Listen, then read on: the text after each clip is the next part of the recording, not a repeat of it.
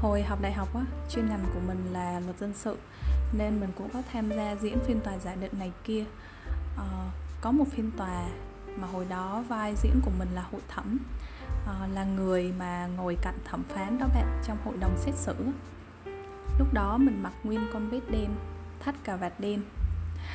Khi diễn xong thì tụi mình có chụp một tấm hình hậu trường làm kỷ niệm phiên tòa đó cũng khá là nổi bởi vì lúc đó tụi mình còn được lên truyền hình quốc hội nữa cơ.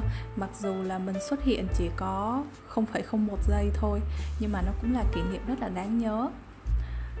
Nên là mình đã đăng lên facebook cái tấm hình hậu trường đó và mình ghi là tòa ngày hội pháp luật ngày 12 tháng 11 nhưng mà rất là bất ngờ bạn bè cấp 3 ở quê của mình lại hiểu nhầm nhắn tin cho nhỏ bạn thân của mình hỏi là, nay bà Trâm bán hàng đa cấp hả bà?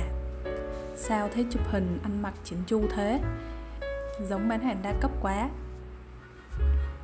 Hồi đó thì mình còn sân si, tại vì cũng mới năm 2 đại học thôi.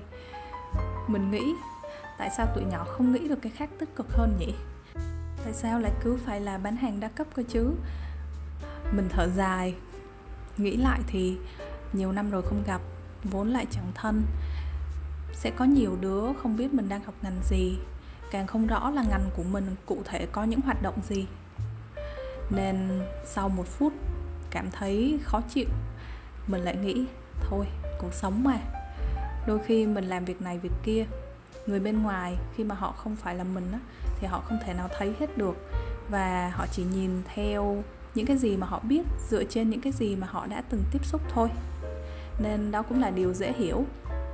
Là một câu chuyện nhỏ thôi, nhưng mà cũng đã giúp mình tập nhìn nhận lại mọi thứ một cách khác đi, vượt lên cái cảm xúc khó chịu lúc ban đầu để thấu hiểu hơn, để đặt mình vào vị trí của người khác và để suy nghĩ khác đi.